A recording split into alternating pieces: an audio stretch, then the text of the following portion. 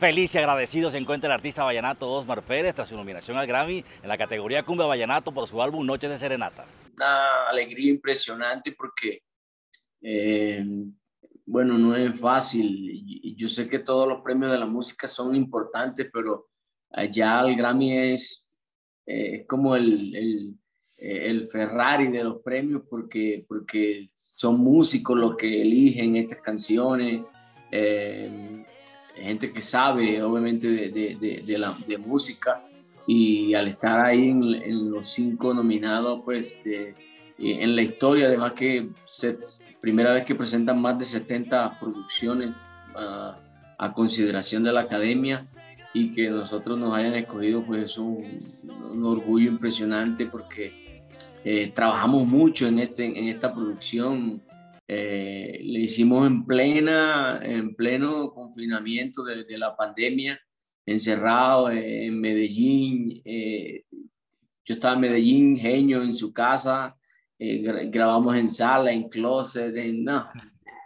Eso mejor dicho, fue, fue complicado poder, poder grabarlo por la situación que, que vivíamos, pero mira, un álbum que hicimos con, con, sin pensar en conciertos, sin pensar en venta, lo hicimos por, por, por, por amor a la música.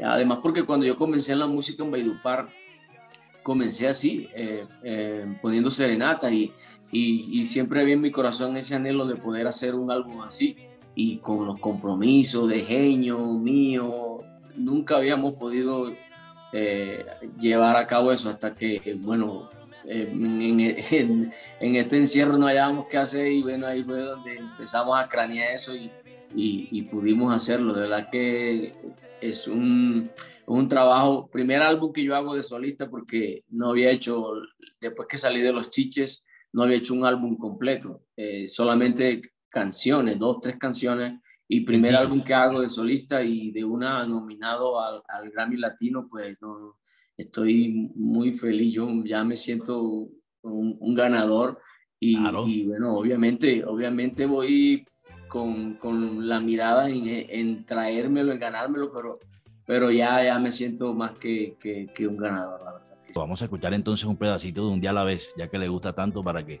a poner la consideración aquí del público, Omar. Necesitado me encuentro, Señor, ayúdame hoy yo quiero saber lo que debo hacer. Muestra el camino que debo seguir. Señor, por mi bien, yo quiero vivir un día a la vez. Un día a la vez, mi Cristo, es lo que pido de ti. Dame la fuerza para vivir un día a la vez. Oiga, qué interesante, ¿no? Excelente interpretación, oiga, Omar. De verdad que usted es un artista y estamos muy contentos de haber eh, tenido su presencia aquí en nuestro noticiero, en nuestro canal. Usted sabe que esta es su casa, ¿no? No, hombre, muchas gracias. Claro que sí. Un saludo a todo, a todo el equipo de, de, de trabajo. Mirar junto a ti el cielo. Contigo puedo tranquilo morir sabiendo que así te quiero. Si revelaras tus ilusiones, yo elevaría mis intenciones y te daría mi tierra, mi cielo, por verte feliz. Ahí se las dejo, muchachos. Un abrazo, saludos a todos.